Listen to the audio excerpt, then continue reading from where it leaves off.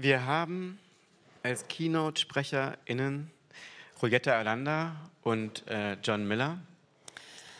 John Miller ähm, verbindet beide Tätigkeiten des Kritikers und des Künstlers ähm, als Leiter des Studiengangs ähm, Art Criticism am Barnard College, eins gegründet von Brian O'Doherty und von vielen Künstlerinnen wie zum Beispiel auch Hito Steyerl zwischenzeitlich geleitet. Und der ist auch mit Texten äh, zu linken und rechten Untergründen zusammen mit Marius äh, Barbiers und Christoph Tannert äh, publizistisch tätig gewesen. 2012 entstand Björing the Underground und wurde republished in New Politics of Hate bei eFlux. Und ähm, er hat auch ein Buch veröffentlicht 2008 zur Rekonstruktion einer Öffentlichkeit, die ebenfalls äh, für uns wichtig für dieses Thema ist. John Miller verbringt seit 1991, seit seinem DAAD-Stipendium, äh, jährlich einige Zeit in Berlin und es verbindet ihn eine lange Freundschaft mit der inzwischen verstorbenen Galeristin Barbara Weiß. John Miller, das möchte ich auch erwähnen, hat eine seiner fantastischen, äh, harten, scharfen, verknappenden, herausfordernden Arbeiten in der Gruppenausstellung Ernsthaft, Ridiculously Yours, die aktuell in der Bundeskunsthalle zu sehen ist. Und Julietta Aranda, die mit ihm ins Gespräch kommen wird, ähm, ist nicht nur, hat nicht nur studiert, was wir erst festgestellt hatten, als wir ein gemeinsames Vorgespräch geführt haben äh, bei John Miller, sondern sie sind auch ansonsten inhaltlich sehr stark verbunden. Als mexikanische Konzeptkünstlerin und Beitragende und Herausgeberin von eFlux ist sie in Berlin und New York lebend äh, auch als äh, Filmemacherin in Erscheinung getreten und ist immer wieder mit ihrem äh, künstlerischen äh, Wollen und Suchen jenseits der Grenzen des Objekts ganz wichtig äh, für auch eine Veränderung der Kunst, die auch zu einer Veränderung der Kritik führt, die sie gleichzeitig in sich verkörpert.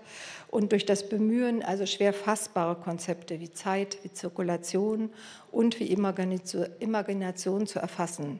Ihre Installationen untersuchen häufig soziale Interaktionen.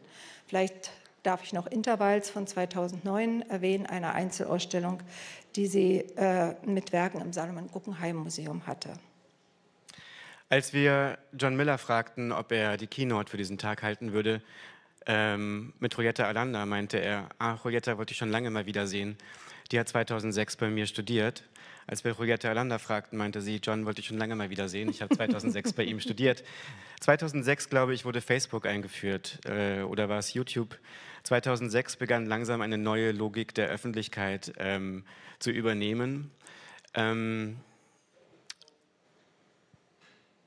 und hat, wie New Models letzte Woche in ihrer Keynote, dargelegt haben, die Möglichkeit zu kommunizieren, zu kritisieren oder sich überhaupt auf gemeinsame Gegenstände zu beziehen, grundlegend in Frage gestellt. Und ich glaube, ja. Ja, nur ganz kurz, vielleicht darf ich noch Timebank erwähnen, weil jetzt gerade digitale Plattform, von digitaler Plattform die Rede ist.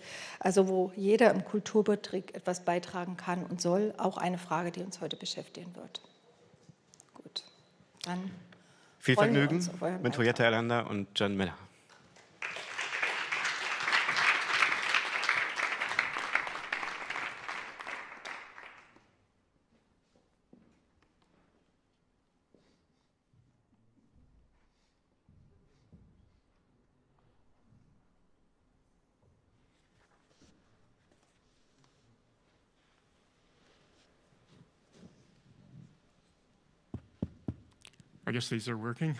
Yes. Ich nehme an, das äh, Mikro funktioniert. Ja, doch, sieht ganz so aus.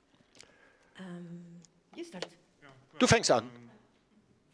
Zunächst mal vielen Dank, äh, Claudia und Angela, für die Einladung an uns, dass wir hier die Keynote anbieten können.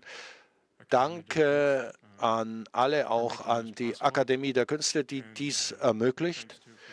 Danke für Ihre beiden großzügigen Einführungen? Ich, sollen wir mehr über uns erzählen? Also ich glaube, ich bin schon gut abgedeckt worden. Ich könnte noch eines hinzufügen. Liegt vielleicht auf der Hand?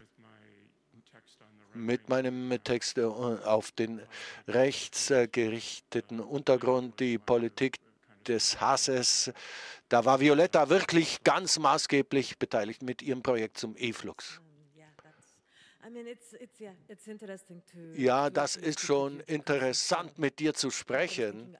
Ich habe gerade darüber nachgedacht, äh, gestern auch, äh, wenn man hin und her pendelt äh, zwischen der Welt der Kunst und der Welt der Kritik als Denker und Kommentator. Was du ja machst, das war für mich ganz wichtig, als ich eFlux Terminal anfing dass man eben in unterschiedlichen Räumen zu Hause ist, äh, was mir immer wieder auch auffällt. Ich habe gerade darüber nachgedacht.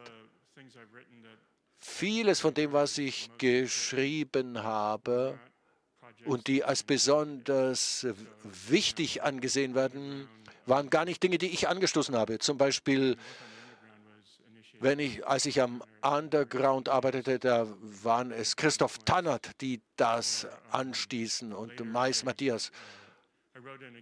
Ich habe dann auch eine erweiterte Fassung des Arbe der Arbeit von Mike Callis äh, von o durch Own Books veröffentlicht. Sie hatten mich aber angeregt. Das war kurz nach dem Selbstmord von Kelly. Ich habe da eine Art äh, Nachruf geschrieben. Ich glaubte, damit, damit wäre das abgetan. Das war ein emotional hoch aufgeladener Moment. Es hat eine gewisse Zeit gedauert, bis ich diesen Vorschlag aufgreifen konnte. Aber es war nichts, was von mir ausgegangen wäre. Ich führe das nur an, weil ich glaube, dass das in gewisser Weise ein Beleg dafür ist, dass Kritik nicht irgendeine Solo-Darbietung ist. Wenn ich mal versuche, einen Einstieg in unser Stück zu finden, etwas von dem, was das Projekt wirklich inspirierte, war, dass wir diese Portalfunktionen beim akademischen Publizieren abschaffen wollten. Wir wollten einige Fächer ineinander verfließen lassen, die sonst nicht miteinander sprachen, zum Beispiel Soziologie und Anthropologie, viele Geistes- und Sozialwissenschaften. Wir versuchten da wirklich Übergänge zu schaffen. Jay Stoppis hat mich hier sehr angeregt. Ja, wir wollten diese Schleusen und Zugangsbarrieren entfernen. Vielleicht könnten wir darüber sprechen. Ja, vielleicht könnten wir zunächst über die Frage sprechen, wer kritisiert wen, aus welcher Position, von wo aus.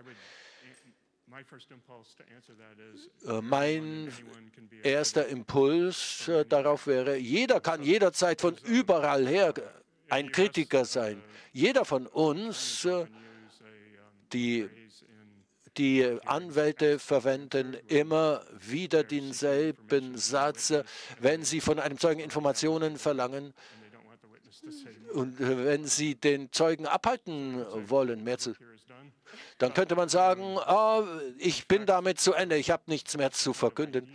Das wäre sozusagen das Ideal. Wenn wir uns das im Einzelfall genauer anschauen, dann wird es natürlich komplizierter. Ja, natürlich. Jeder kann Kritiker sein, insbesondere bei gemeinsamen Sektionen. Natürlich, und das ist natürlich, das wir gerade auch erwähnt haben. Jeder kann ein Künstler sein. Ist das äh, nicht der also da, wenn man jeder Künstler ist, dann ist das natürlich auch in gewisser Weise eine Tötung der Kunst. Und dasselbe gilt für die Kritik. Äh, naja, aber im akademischen Bereich, mindestens in den USA, viele Kunsthistoriker, die äh, versuchen, äh, diese Kunstwerke, die Ready-Mades zu zergliedern die merken gar nicht, dass sie ihr eigenes Fach zerlegen und zerstören. Ja, ich habe damals zugehört äh, einem Podiumsgespräch und war selbst auch Teilnehmer. Ich sprach also da von diesem zergliederten Kritik. Es ist nicht eine Zergliederung, sondern eine Neugliederung der Kritik. Vielleicht braucht man eine Art flexible Wirtschaftsführung wo eben die Arbeitenden dauernd neue Fähigkeiten erwerben müssen. Äh, das hat ja auch mit dieser verschwimmenden Grenze zwischen veraltet und innovativ zu tun, wo ständig Neues an, sich mit Altem verbindet. Wenn wir über Tore sprechen, sollten wir mal vielleicht unser erstes Stück vorführen? Ja, wir hatten da einige Unterhaltungen mit Hillary und wir haben gedacht, wenn wir zurückschauen, wenn wir uns die Zukunft der Kritik anschauen, schauen wir mal zurück auf 1981, eine Arbeit von Richard Serra. Das heißt, der gekippte Bogen, können wir mal den gekippten Bogen sehen, der Tilted Arc. Na, ich könnte ein paar Worte dazu sagen, worum es da geht. Wie bei vielen Bildwerken von Sarah geht es hier um eine Stahlkonstruktion, Cortland-Stil. Das ist Portland-Stahl, der außen rostet, aber dieser Rost ist dann eine Schutzschicht. Das ist also eine sehr greifbare und eindeutige physikalische Eigenschaft, die man da spürt ziemlich groß, 36,5 Meter lang, dreieinhalb Meter hoch etwa, besteht aus Stahl von einer Stärke von 6,5 Zentimeter. Diese Arbeit wurde mit öffentlichen Mitteln errichtet in Lower Manhattan gegenüber der, äh, dem Bundesgebäude von Jacob Javad. Dieser Ort heißt äh, Bundesplaza, Federal Plaza. Und kurz danach äh, löste das einen Meinungsstreit aus, der lange andauerte. Viele Menschen äußerten ihr Unbehagen über diese Skulptur. Es gab Debatten, ob man das entfernen sollte. Spannend ist auch festzuhalten, das ist nicht nur irgendeine Plaza. Diese Arbeit äh, wurde an der Adresse 6, äh, Plaza, äh, Federal Plaza 26 errichtet. Also das ist das Gegenstück äh, zur deutschen Ausländerbehörde, wo man eben die Aufenthaltsbewilligungen bekommt. Also man musste nicht, ich musste nicht durch diese Tilted Arc-Erfahrung hindurchgehen, sondern ich musste durch diese Ausländerbehörde mich durchschleusen lassen. Das war also wirklich eine sehr bekannte Empfindung und das wurde dann wieder evoziert durch dieses Federal Plaza Nummer 26. Ja, also auch die Mitarbeiter haben dort sich beschwert. Sie waren wohl der Meinung, dass dies die Sicht versperre. Ob man wollte oder nicht, es war wirklich ein wirklich niederträchtiges Kunstwerk, das man wegen also wirklich ganz gemein, dass man die Leute da hineinstieß in diese Erfahrung, die unangenehm war.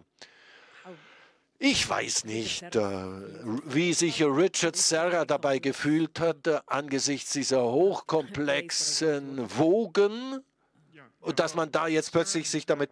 Sarah hat die Meinung vertreten, Serra sagte, das sei ein standortspezifisches Kunstwerk. Richard Serra.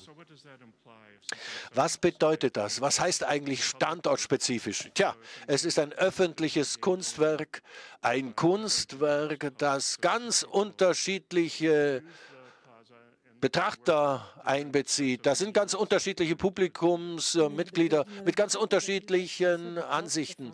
Sie haben diese Plaza verwendet wegen der Arbeit, äh, wegen dieses Amtes dort äh, und wegen der Funktion, die dieses Amt ausführt. Das ist ziemlich verrückt.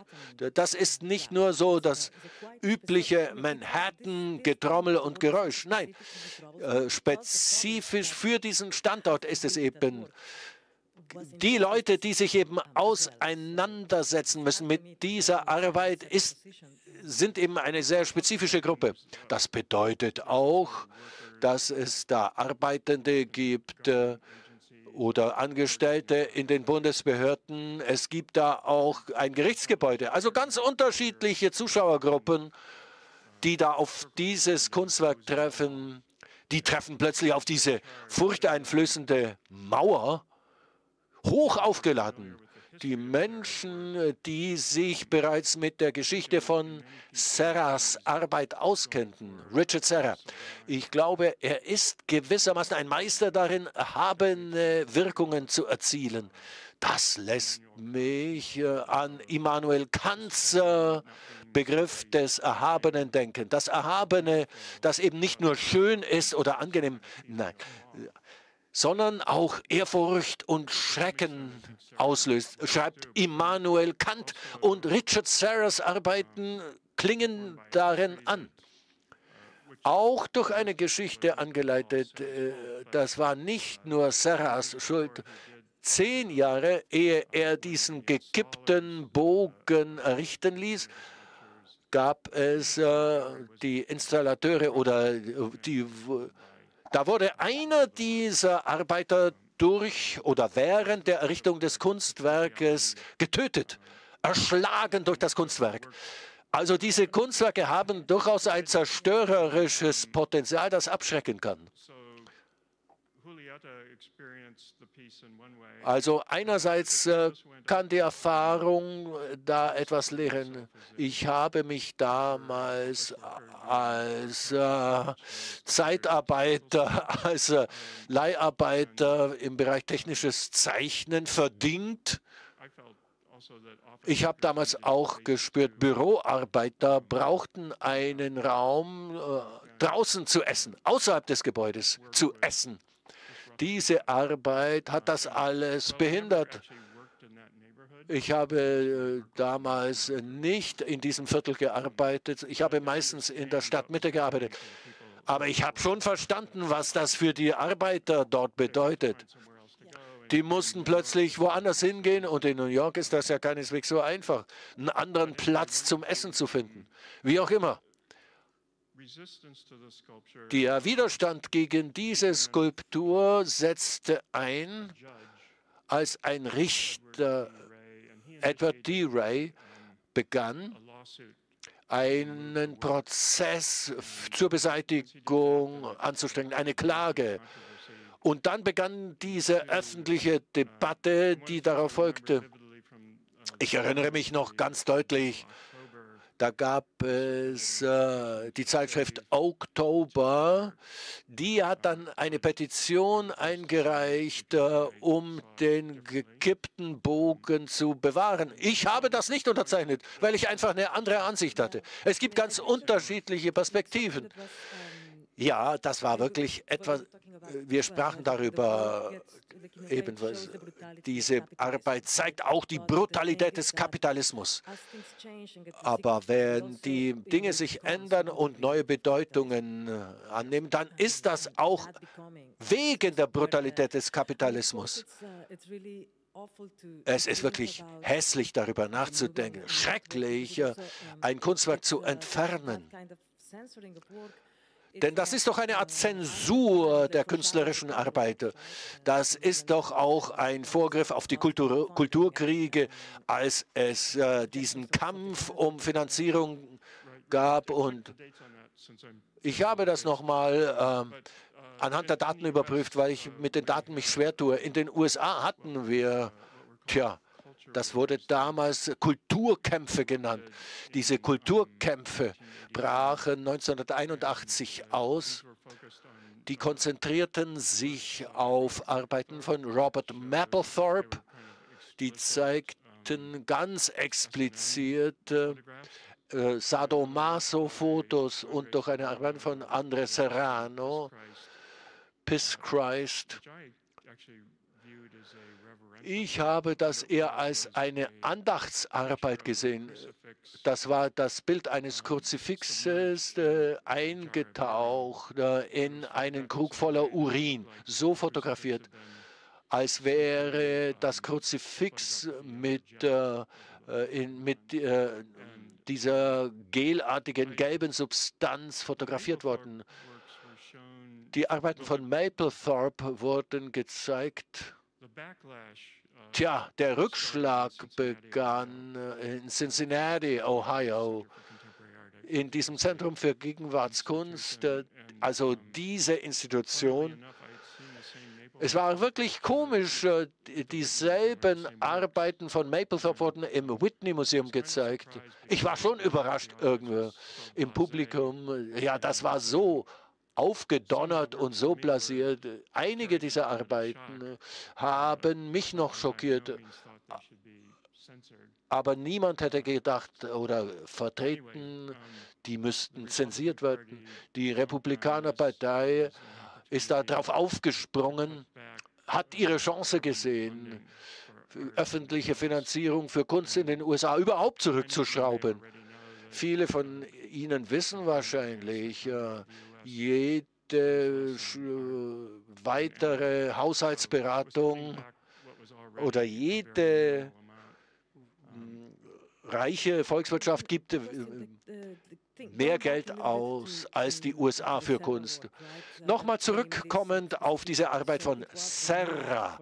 Die wurde dann auch von der Federal Plaza entfernt. Und die ist dann nach New York Upstate verlegt worden, oder? Wie war das? Tja, ist ja lustig. Äh, ruht irgendwo im Depot, wurde niemals mehr gezeigt, da dies ja eine standortspezifische Arbeit ist. Wenn man diese Arbeit äh, versetzte, dann zerstörte man sie.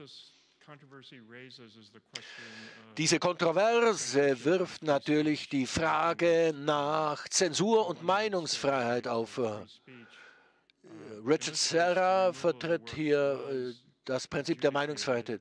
Die Entfernung der Arbeit wurde tatsächlich äh, durch ein Gericht verhängt, also nicht Zensur fand hier statt. Ich, Zensur ist, glaube ich, nicht das richtige Wort hier. Aber ich würde sagen, Meinungsfreiheit und künstlerische Freiheit wird schon als Problem um diesen Prozess aufgeworfen. Das könnte ja auch die Grundlage oder der Ausgangspunkt für diese Kulturkämpfe der 80er Jahre geworden sein. Tja, eine hochkomplizierte Angeleitete, da haben wir natürlich die Freiheit des Künstlers. Aber wir müssen auch die Wirkung auf die Öffentlichkeit betrachten. Es, ist, es geht nicht nur um Serra als einzelne Persönlichkeit. Das ist ja ein Minenfeld. Ich würde eines klarstellen. Dieser Widerstand gegenüber der Arbeit, ja, manche haben gesagt, es ist einfach hässlich. Ich glaube, das ist aber eine Fehlannahme. Vor ein oder zwei Jahren habe ich eine, eine Fotografie von der Galerie gesehen. Die Leute haben äh, nicht gesagt, das sei hässlich oder das sei pädophil oder nicht. Die Frage war eher die nach dem richtigen Kontext oder nach dem Kontext und nach der gesellschaftlichen Verwendung von öffentlichem Raum. Also äh, insbesondere bei diesem Raum da ist das war, es ist doch lustig zu sehen, dass so eine Arbeit als bedrohlich wahrgenommen wird. John Waters hat in einem Interview mit Sarah das ja aufgeworfen. Ich war wirklich überrascht. Ich war das Artforum. Das war eine, eine sehr lustige Kombination. John Waters war da. Äh, vielleicht wissen Sie nicht, wer John Waters ist. Er hat Pink Flamingos äh, gesteuert oder als Regisseur betreut. Er ist ja bekannt für einige Art sehr ausgepichte und bissige humoristische Arbeiten, zusammengebracht mit Richard Serra. Hast du je versucht, hinter einer deiner Skulpturen dich zu verstecken und dann hervorzuspringen und zu sagen, buh, das war lustig. Also, das hat er ja gewissermaßen gemacht. Also, das habe ich so gespürt. Er hat äh, gewissermaßen das gemacht. Ich denke, wir können jetzt weitergehen zum nächsten. Na, wir haben uns gedacht, wir zeigen Ihnen einige unserer Arbeiten, die auch als Kritik fungieren. Also, ich glaube, du könntest mal den Anfang machen. Das ist ein Auszug aus einem vier bis fünf Minuten langen Film. Da, hat es, da geht es nicht äh, so sehr um Architektur, verkörpert in dieser besonderen Arbeit, sondern um die Be Beziehungen im öffentlichen Raum. Was ist eigentlich öffentliche Kunst? Das ist Thema dieses Filmausschnitts, den wir jetzt. Bitte jetzt uh, Juliettas Film einspielen.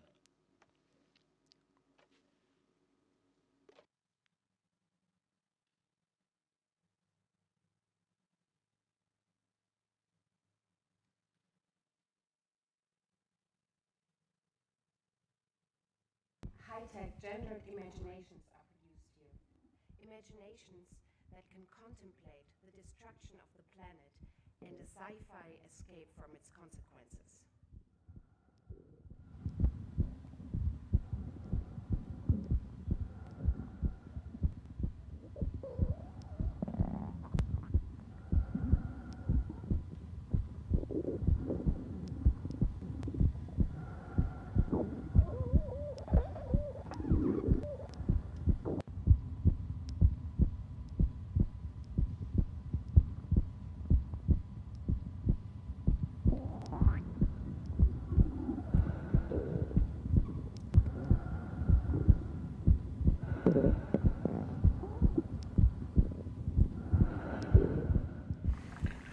Space travelers are just constantly losing and refinding their own room, shrinking their space and recovering their expansiveness.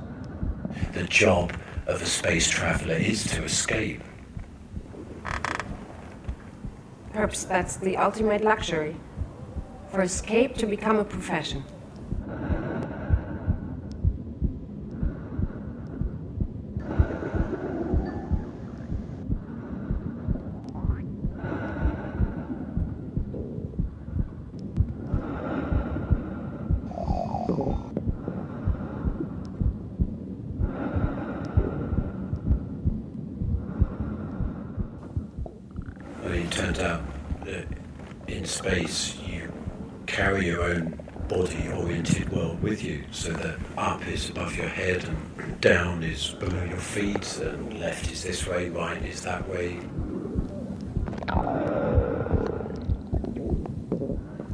Burst the sci fi bubble here, but even an economic imaginary requires real human bodies to test the spaces that are being imagined.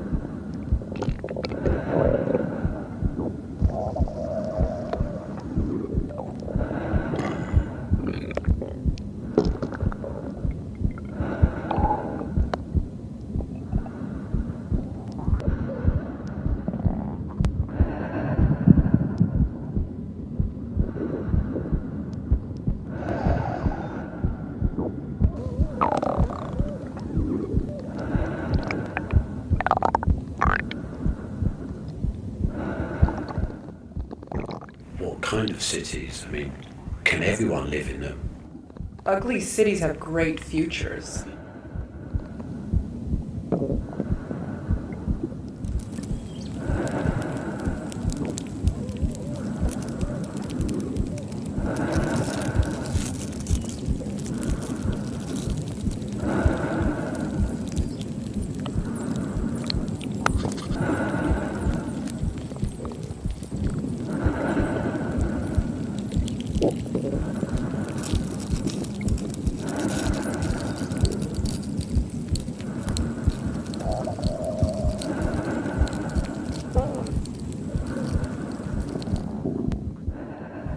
Are you saying that distance is dead? That this is the end of distance?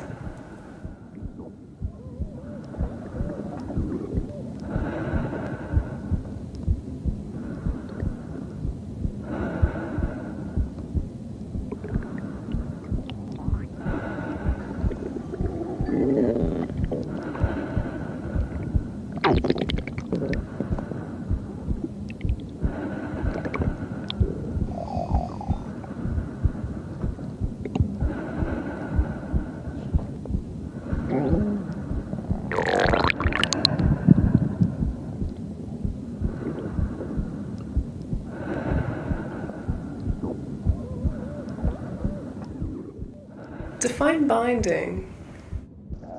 Architecture, artifacts, traffic.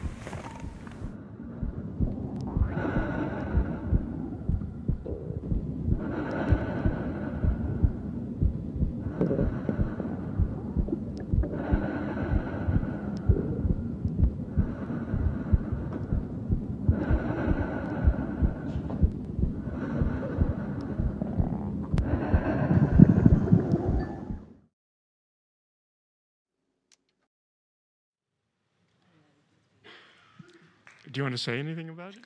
Möchtest du noch etwas I dazu can- sagen? I can, s- I mean, uh, I can save it for later, I think. Ja, vielleicht später. Okay. Uh, In Ordnung. I have to say, I couldn't help but Nun, also Elon Musk and ich musste hier an Elon Musk und SpaceX denken. Ich konnte gar nicht uh, anders. Dort kann a trip man ja ein, eine Reise ins. All kaufen. Ja, das ist gruselig, oder diese Vorstellung? Und das ist auch, ähm, naja, also ich kann mir gar nicht vorstellen, wie man im All leben kann. Das sind ja keine guten Lebensbedingungen dort. Ja, also diese Arbeit entstand als Antwort auf, auf verschiedene Sachen, die ich gesehen habe in Bezug auf defensives Design, also Bänke, auf, die man, auf denen man nicht wirklich sitzen konnte, zum Beispiel, oder ähm, diesen äh, spitzen, äh, spitzen Stahl, damit die, damit die Vögel sich nicht auf der Fensterbank setzen oder auch anderen ja, Designmöglichkeiten, die den, die Menschen, die Menschen daran hindern, sich irgendwo hinzusetzen. Also es ist ja aggressives Distanzieren. Und wie werden Städte gebaut durch diese architektonischen Fallen? Also äh, nun, was wird denn der öffentliche Raum? Also, um, Und was ist der öffentliche Raum?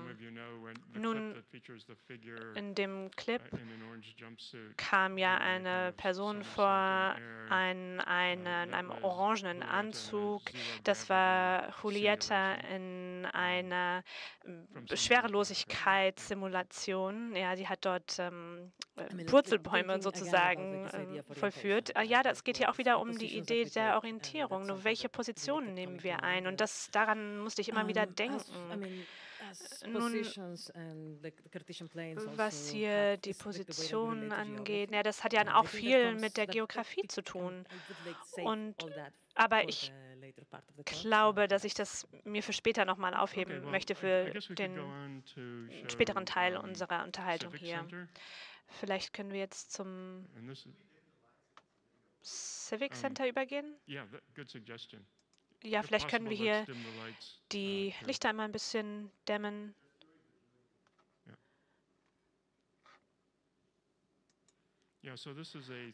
Also das ist uh, jetzt eine dreiminütige Arbeit, die ich als PowerPoint-Präsentation vorbereitet habe.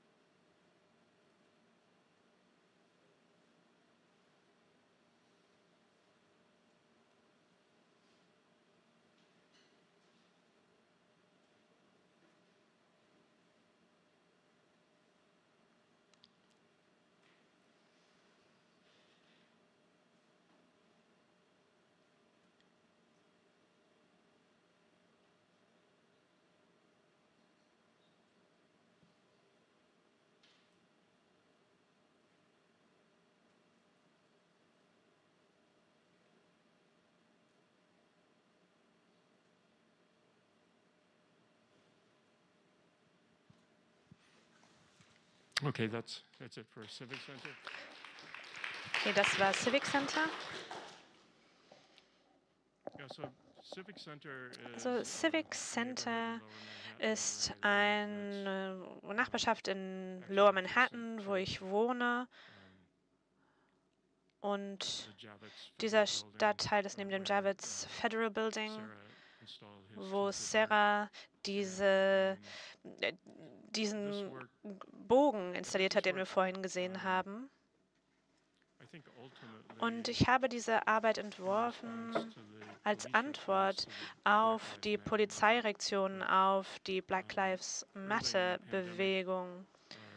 uh, crescendo. Denn zu Anfang der Pandemie kam es ja hier zu einer ja, wahren Steigerung in dieser Bewegung. Es gab hier Konfrontationen zwischen den Demonstranten und der Polizei. Und die Polizei hat reagiert, indem nun, vielleicht sollte ich noch mal einen Schritt zurückgehen. Wir um, sind ja hier wirklich momentan wirklich in den uh, Dingen der, äh, des Geschehens. Meine Frau und ich wollten elf Monate nach Berlin kommen, statt äh, während der Pandemie in Lower Manhattan zu bleiben. Und es hat sich ein bisschen wie eine Kampfzone angefühlt. Nach der ersten großen Demo. Es gab viele Helikopter, Hubschrauber, die den ganzen Tag über diesen Stadtteil flogen. Und ich persönlich finde, dass das eine Überreaktion der Polizei war. Und als wir dann wieder zurückgekommen sind, dann, und es gab ja damals äh, schon Barrieren, Absperrungen in diesem Stadtteil nach dem 11. September, primär um hier äh, One Police Plaza abzusperren, denn das ist natürlich die zentrale Polizei, das zentrale Polizeirevier in Manhattan. Aber das hat dann metastasiert, es ist wirklich aus dem Ruder gelaufen in den elf Monaten, in denen wir nicht dort waren. Und diese Barrikadenabsperrungen waren für mich eine ungewollte Polizeiskulptur auf eine gewisse Art und Weise. Und außerdem hat das sowohl Schuld als auch Angst repräsentiert. Nun, es scheint, also ich habe natürlich andere PowerPoint-Arbeiten zum öffentlichen Raum gemacht, aber ja, das schien mir eine Art und Weise, hier dieses Problem anzugehen. Also vielleicht ging es, sollte ich hier nicht aufs Große und Ganze eingehen, sondern hier einen konkreten Aspekt des öffentlichen Raums, auf den ich mich konzentriere und das dann zu nutzen, also wo natürlich ein Teil für das Ganze steht, auf diese Art und Weise und so kann man das dann extrapolieren. Also man kann dann von diesem kleinen Teil aufs Ganze extrapolieren. Also ich glaube, das war alles, was ich jetzt zu, diesem, zu dieser Arbeit zu sagen habe. Aber nun, was ich jetzt finde, was hier interessant ist bei unseren beiden Arbeiten und auch natürlich der Arbeit von Sarah, wir haben ja hier, wir sollen ja hier auf diesem Panel über die Zukunft sprechen und die zu Zukunft der Kritik und welche verschiedenen Formen Kritik einnehmen kann und was die Funktion der Arbeit ist, aber auch die Funktion politischer Position und ich glaube, dass wir jetzt noch einmal zur Folie mit dem Baum, äh, äh, dass wir damit fortfahren können. Das ist ein Cartoon, ein Comic vom, von Ed Reinhardt, einem amerikanischen Maler. Also wie man sich moderne Kunst in Amerika anschaut. Wahrscheinlich können Sie hier nicht die verschiedenen Namen der Künstlerinnen und Künstler sehen, deren Namen auf den Blättern stehen. Das ist wahrscheinlich nicht so gut zu erkennen. Aber es macht sich ein bisschen lustig über die Idee der Kanonisierung und des Einflusses. Nun, im Prinzip sagt es Folgendes. Es spricht für eine lineare Reinheit der Kunst. Und es gibt natürlich einen Zweig hier unten, einen Ast, und der wird von verschiedenen Sachen hinuntergezogen. Politische Positionen zum Beispiel, mexikanische Künstlerinnen und Künstler. Es ist auch ein Gewicht, das diesen ähm, Ast nach unten zieht. Vielleicht ist mir stößt mir dieser Cartoon so ein bisschen ähm, schlecht auf. Aber ja, also alles, äh, was quasi Bedeutung vermittelt, anstatt dieser sublimen Natur dieser Arbeit. Nun Dangers'ı ago. Also ich habe mich dann immer gefragt, ja, es, was, was, wie kann, wie kann man denn oder wie kann eine Arbeit etwas kritisieren? Wie kann man in den Kanon kommen, der hier aufgezeigt ist, insbesondere in Anbetracht von dessen, was in den letzten zehn Jahren passiert ist? Also alles zwischen den, der Dekolonialisierung und den und Neofaschismus. Und was ist denn die kritische Position? Also wie kann man darauf antworten? Wie kann man darauf reagieren? Was ich hier ja ein bisschen komisch finde und ich weiß nicht, ob Reinhard wollte, dass es lustig ist, ist natürlich hier der Titel, wie kann man sich moderne Kunst in Amerika anschauen? Also wenn man jetzt die Position ändern würde, wie würde dann der Baum aussehen? Das ist natürlich eine Frage, die hier aufgeworfen wird. Und ich glaube, dass dieser Comic eine Art, ja, zu einer Art Artefakt wird. Ich glaube, eine der Herausforderungen, den Kuratoren und Kritiker gegenüberstehen und aber auch das Publikum, also die Betrachter und Betrachterinnen, ist nun, dass man ja anfangen muss, über Kunst aus globaler Perspektive nachzudenken. Und eine der großen Herausforderungen, die sich mir stellt, ist, dass es hier eine wirklich eine Überzahl an Informationen gibt. Also wir und insbesondere verbunden mit sehr konkreten Demografien und wie kann man das in einen bedeutungsvollen Kontext bringen? Das ist die Frage, die sich hier stellt. Ja, ich arbeite ja in, einem Kunstgeschicht in einer Kunstgeschichtenabteilung oder Fakultät für Kunstgeschichte und äh, ja, ich habe es mit äh, Zahlen oder Daten nicht so, aber eine der großen Herausforderungen für uns, die in diesem Bereich arbeiten, ist es natürlich, wie kann man über Kunst Geschichte nachdenken äh, im Spannungsfeld zwischen Chronologie und Geografie. Also westliche Art ist ja normalerweise in einem chronologischen Matrix angesiedelt und Kunst aus anderen sogenannten Kulturen wird geografisch kategorisiert. Und die zwei kann man nicht ganz gut kombinieren. Also was ist denn zum Beispiel mit mittelaltertümlicher Kunst in China? Wie kann man das in Verbindung miteinander setzen?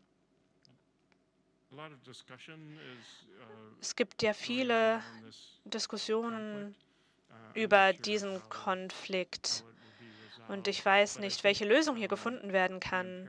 Aber ich glaube, dass das imperative Gebot hier ist, eine Art zu finden, diese Dichotomie zu synthetisieren. Also, dass, dass Kunst, die geografisch betrachtet wird, nicht aus der Chronologie ausgeschlossen wird. Also ich glaube, diese Abgrenzung, das ist etwas, äh, nun, was ich immer gedacht habe, dass äh, Serra-Skulptur eben tut. Also wenn wir hier noch Äste zu diesem Baum hinzufügen wollen oder einen weniger linearen Kanon zu schaffen, der auch an, durch andere, alle anderen Wirklichkeiten meandern kann, also um nicht nur diese engen totalitären totalitären Ansichten zu haben. Also es gibt natürlich eine, es, es, wird gesagt, dass es hier eine direkte Linie gibt, die von, den, von der Höhlenmalerei zu Richard Serra geht. Und das ist natürlich äh, viel zu viel wird dann außer Acht gelassen. Viele andere Dinge, die geschehen sind. Also das Baumdiagramm könnte vielleicht noch Wurzeln beinhalten. Ich, ja, also es gibt ja auch noch zum Beispiel polynesische irgendwas. Das kann ich hier nicht so ganz. Ich glaube, polynesische Kinderarbeiten. Ich kann das nicht so ganz lesen. Polynesisches irgendwas steht da. Aber ja, es ist immer noch in einer sehr reinen, funktionalen, 嗯 Tradition. Also ein Detail dieses Comics, das mir sehr gut gefällt, was Sie vielleicht nicht sehen können im Publikum, ist hier rechts unten gibt es eine Zeichnung von einer kleinen Schnecke und darunter steht Escapist, also dass man etwas äh, vor etwas fliehen möchte. Also ja, es geht hier um eine gewisse Reihe an Forderungen. Also da steht oben klein geschrieben, wie man die, äh, ja, wie man auf diese Zeichnung zugreifen kann und vor allem, wenn man nicht viel über Kunst versteht. Also es gibt hier eine Forderung oder äh, in Bezug auf, was Kunst für den Betrachtenden darstellen soll. Aber natürlich äh, ist der Inhalt natürlich auch, hat, stellt gewisse Forderungen, denn es schafft eine Verbindung zu der Öffentlichkeit. Also die Forderung, die, äh, für die er sich hier einsetzt, ist, dass es ähm, Kunst für des Kunstwillens geben sollte. Also das ist die äh, Beziehung, die man vielleicht zu Kunst aufbauen sollte. Und ich möchte hier eine, eine Möglichkeit finden, vielleicht nicht dem zu entfliehen, aber wie man vielleicht andere Zweige hinzufügen könnte. Haben wir noch Zeit? Wenn ja, dann wollten wir noch eine andere Sache besprechen. Ja, okay, wir liegen gut in der Zeit, super. Also es geht, ich möchte noch über die Finanzialis ähm, Finanzialisierung der Kunst sprechen, also insbesondere vor dem Hintergrund der kürzlichen Aktivitäten von Umweltgruppen in Museen. Ja, das war interessant, was du hier gesagt hast. Also äh, dieser Aspekt der Finanzierung oder Finanzialisierung. Also vor ein paar Jahren gab es ein, gab es Salvatore Mundi, ein Gemälde und das ist natürlich meine eigene Meinung hier. Also ein, das Gemälde hatte ja einen gewissen Wert und die, man, es wurde dann gesagt, nun, wahrscheinlich wurde dieses Gemälde in seinem Studio erstellt und außerdem ist es gar kein, überhaupt gar kein gutes Gemälde. Aber trotzdem war das Werk selber immun gegenüber jeglichem, jeglicher Kritik. Es wurde dann verkauft und ich glaube nach Saudi-Arabien dann geliefert. Also irgendwo zu irgendeinem Hafen, glaube ich. Ich weiß nicht mehr, wo es genau hingeschifft wurde. Aber es gab dann ja äh, Kunst als ähm, ja, als Wertgegenstand, diese Rolle hat sich hier ein bisschen herauskristallisiert. Ja, und nun, warum haben dann diese Klimaaktivisten dieses Meisterwerk angegriffen? Ich glaube nicht, weil, das war nicht, weil sie Van Gogh hassen, sondern weil, ja, es geht hier um eine Abstrahierung des Werts, das dieses Meisterwerk repräsentiert. In jedem Fall gab es bis jetzt, äh, wurden diese Werke nicht wirklich zerstört. Also es ist ja eher eine symbolische Geste, die Aufmerksamkeit auf sich ziehen soll. Heute Morgen habe ich einen Artikel in der Times gelesen. Dort haben Museumsdirektoren sich mit dem Problem befasst, wie man potenzielle Aktivisten identifizieren kann, die zum Beispiel Tomatensuppe oder irgendetwas anderes auf ein Gemälde schmeißen.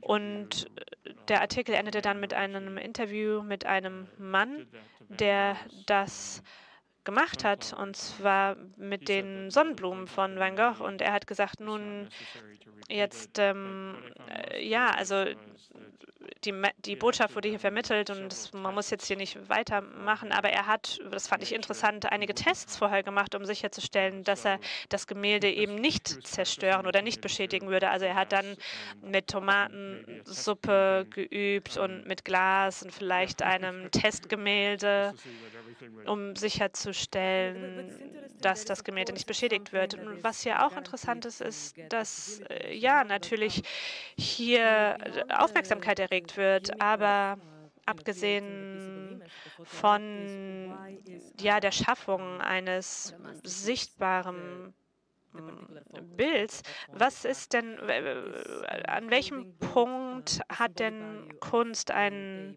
den, symbolischen, den symbolischen Wert, ein Meisterwerk zu sein oder das Ästhetische zu repräsentieren und gleichzeitig ein absolutes Beispiel für oder von Geld. Also diese zwei verschiedenen Welten das, hier, das ist natürlich einer der Gründe dafür. Und ich glaube, es gibt ja ein Paradox, denn die Betrachtenden schaffen ja den Wert. Die Betrachtenden werden auf gewisse Art und Weise auch zu Arbeitenden. Also es gibt ja eine produktive Kapazität in dem Akt des Anschauens.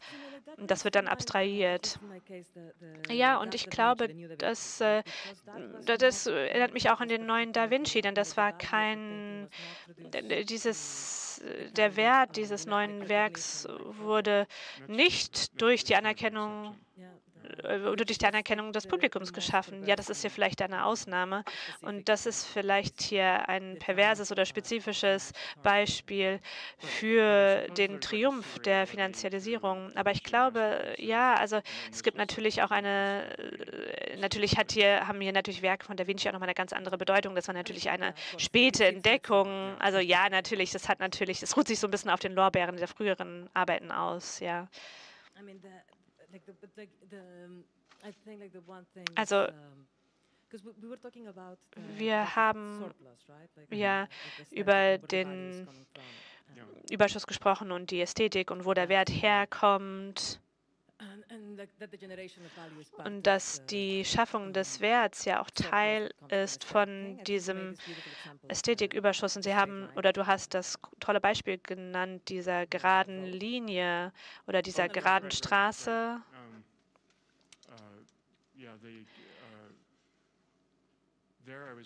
Ja, also da musste ich an Weblands Theorie der Freizeitklasse nachdenken. Und das war, er war einer der Gründer der New School, der neuen Schule in New York. Er war ein Soziologe und ich glaube, er hat in den 1920er Jahren Theorie der Freizeitklasse geschrieben. Ich bin mir nicht ganz sicher, ob das stimmt jetzt, aber ähm, er hatte eine puritanische, aber trotzdem sehr ja, interessante Ansicht auf Ästhetik, denn er hat alles, was ästhetisch war, für einen Schlüssel zur Klassenhierarchie befunden. Und in Theorie nun, er hatte einen Kapitel zu den Geldstandards des Geschmacks in diesem Buch und hat gesagt, dass Geschmack durch Wohlstand geschaffen wird. Er hat dann ein Beispiel genannt, nämlich eine, ähm, eine gerade Straße und eine kurvigen Straße. Die gerade Straße ist natürlich die effizienteste und die kosteneffektivste oder kosteneffizienteste und hat gesagt, dass jemand, der eine kurvige baut, zeigt, dass eben hier auch Kapazitäten für Verschwendung, ähm, dass diese Personen Kapazitäten für Verschwendung haben und das symbolisiert dann die, den, die höhere Position dieser Person in der sozialen Hierarchie. Die Frage, die mir da in den Sinn kommt, ja, das ist etwas Angenehmes angesichts dieser Krümmung in der Zufahrt. Das Problem bei diesem Argument ist aber, dass hier eine Äquivalenz hergestellt wird zwischen Verschwendung und äh, Vergnügen. Ich würde sagen, Vergnügen oder Freude am Kunstwerk ist nicht Abfall. Tja, wie soll ich das sagen? Das, das hält einfach nicht, äh, was es verspricht. Es geht hier um Klassenkonflikte. Es gab diese Art von Beziehung zwischen einer intellektuellen Linken und äh, der niedrigeren Klasse. Das ist äh, ja hier ein Konflikt, in dem das Vergnügen oder die Lust niemals mit Einbezug ist. Ich frage mich, ob wir Zeit haben, jetzt noch über Lust zu sprechen. Wie, wie schaut es denn aus? Na, um, wollt ihr vielleicht uh, Fragen zulassen? Das wäre jetzt toll, denn in fünf Minuten haben wir ja schon den nächsten uh, Programmpunkt mit einer Verzögerung von 15 Minuten verursacht. Also lassen wir mal den Spaß beiseite. Oder hat irgendjemand uh, Fragen oder Kommentare anzubringen? Thank you. Thanks so much. Vielen Dank. Uh, I'd like to thank you for the ich way möchte euch danken für die Art, wie ihr diese Keynote durchgeführt habt. Nicht als äh, vorformulierten Text, den ihr an uns an den Köpfen geworfen habt, sondern eine Art Verletzlichkeit habt ihr gezeigt. Vielleicht darf ich eine schwierige Frage stellen. Ich habe gesehen, äh, dass äh, der Begriff der Flucht mehrfach auftauchte, Julieta Aranda, hat er gefragt, können wir irgendwohin uh, fliehen? Auch bei John Miller, wie er sein Werk äh, evoziert. Als Black Lives Matter auftauchte, sind wir sozusagen nach Berlin geflohen. Also dieser Eskapismus, auch äh, diese kleine Schlange, die bei Ed Reinhardt zu sehen war. Ich habe in Paris gelebt. Ich bin in, den 19, in das 19. Arrondissement gezogen, eine Art äh, sehr proletarische Gegend. Da, da gibt es eine aggressive Grundstimmung. Und die Leute versuchen immer wieder diese Szene in den Griff zu bekommen. Als ich dann nach Wien zog, hatte ich auch das Gefühl, ich floh vor dieser Realität. Zugleich aber hatte ich mir doch vorgenommen, diese Realität äh, wirklich zu umarmen und vielleicht auch zu verbessern. Was ist äh, eure Beziehung zu dieser Vorstellung einer Flucht von äh, dieser Umgebung? John, also eine Art äh, Ausweichen vor dieser Bewegung. Wie kannst du das äh, aushandeln in deinen künstlerischen Arbeiten? Wie, wie schafft man das eigentlich? Wie reagiert man darauf? Mir wurde das auch klar. Also ich bin da irgendwie geflohen, ich habe mich in Sicherheit gebracht, ich habe mich in die Büsche geschlagen. Möchtest du da antworten? Ah, ich weiß nicht. Tja, ich weiß gar nicht, was ich sagen soll.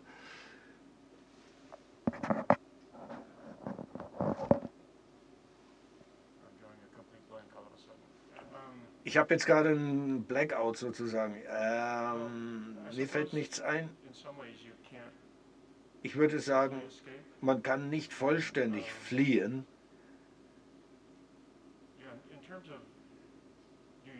Was nun New York angeht. Ich hatte immer die Vorstellung, dass ich auch zurückkehren würde.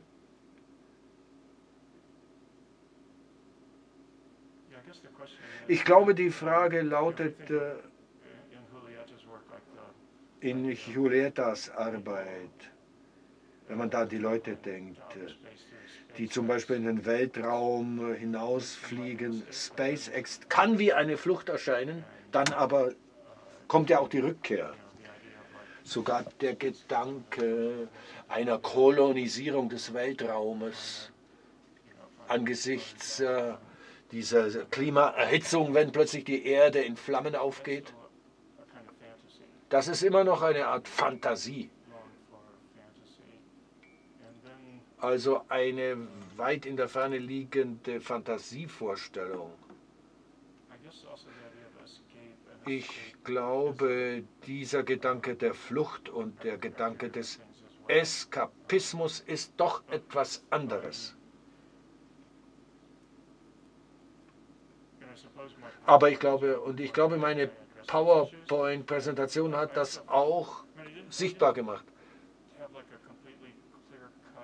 Ich hatte da jetzt keine fest umrissene Vorstellung als ich dieses Stück begann.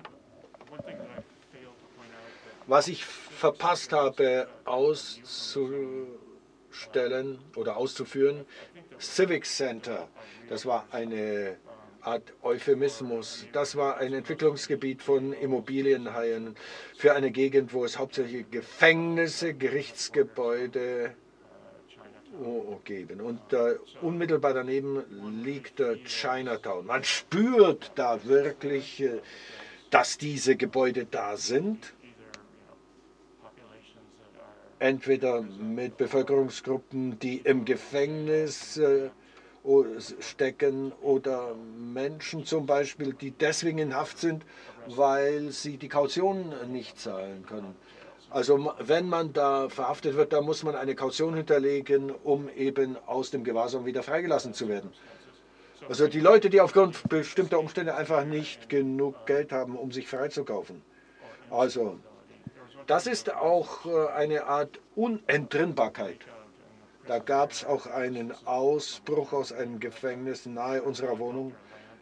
Ein Hubschrauber landete dort auf dem Dach eines äh, Gefängnisses und äh, nahm Gefangene in Gewahrsam, die entflohen waren.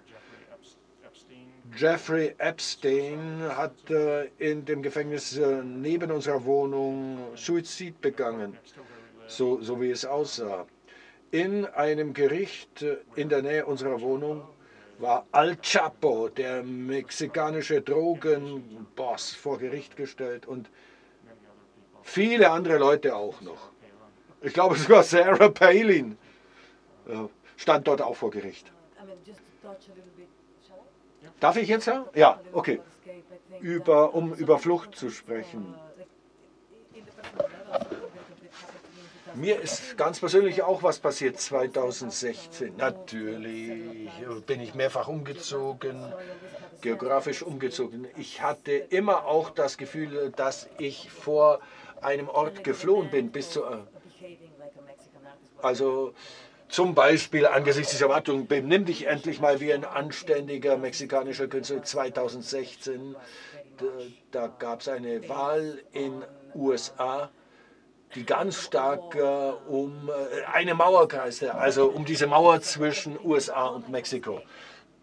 Ich hatte also geglaubt, äh, einer Sache entronnen zu sein, die aber dann wiederkehrte. Also sie war unentrinnbar. Das zeigte diese Unmöglichkeit der Flucht aber immerhin die Möglichkeit weiterzugehen oder darüber hinwegzugehen. Ich denke, das ist eine Art kritische Widerständigkeit gegenüber dem, was man eben gerade besetzt hält. Vielen Dank.